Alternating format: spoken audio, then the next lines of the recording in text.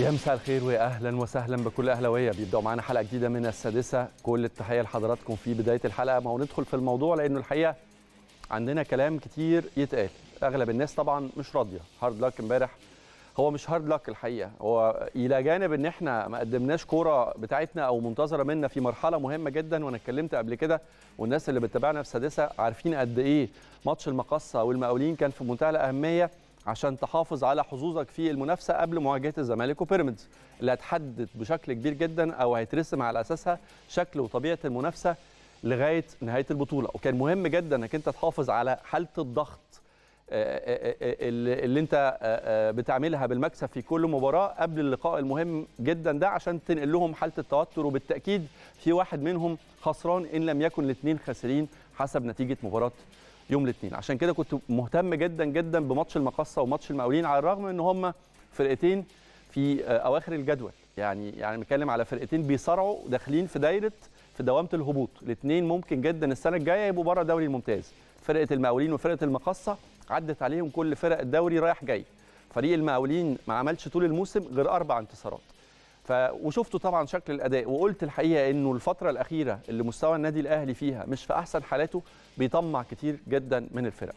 اعتراف واضح وصريح ويمكن ده حاجة مش محتاجين نتكلم فيها إنه الأهلي في حالة تراجع شديد جدا على مستوى الأداء. الأهم اللي إحنا نتكلم فيه النهارده ونناقشه هو ليه؟ ليه الفريق اللي بدأ الموسم بدايه قويه جدا وما كانش فيه فريق في مصر قادر يقف في وشه ووصل بيه الحال للدرجة اللي إحنا وصل لها دلوقتي؟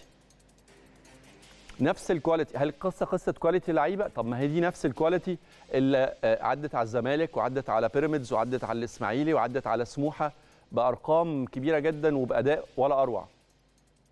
إيه اللي حصل؟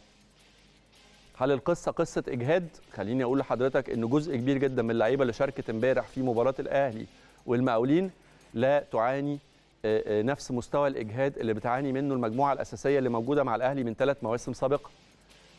هل القصة قصة معنويات وحالة نفسية؟ هل القصة قصة تغيير في الإدارة الفنية؟ تولي أو تعاقب أكتر من مدير فني على على يعني تولي مسؤولية النادي الأهلي؟ القصة دي هي اللي محتاجين نتكلم فيها. والأهم إزاي نصحح؟ والمهم إن إحنا نحافظ على فرصنا. أنا بقول لحضرتك طول ما رقميا أو حسابيا الأهلي عنده فرصة في تحقيق اللقب أنا بقول دايما والأهلي علمني كده إنه لا تراجع ولا استسلام. لكن ده مش معناه إن إحنا نحط راسنا في الرملة وده مش معناه إن إحنا نقول إنه مفيش حاجة غلط جوه الفرقة.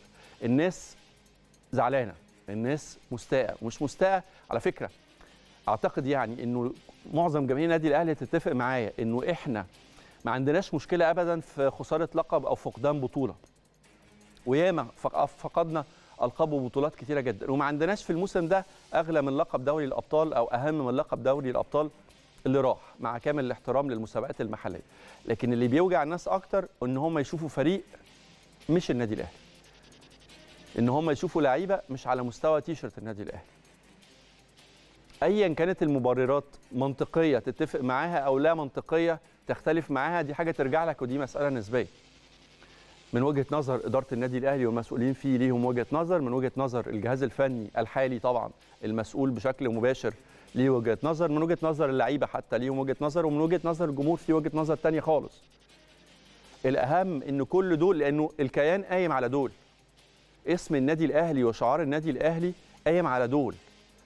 المهم إن إحنا كلنا نتفق إزاي نقف على رجلينا تاني أقوى من الأول. وما زلت بكرر الأهلي لم يفقد حظوظه حتى اللحظة. التاريخ علمني كده التجربة علمتني كده. ده فيما يتعلق بفريقنا.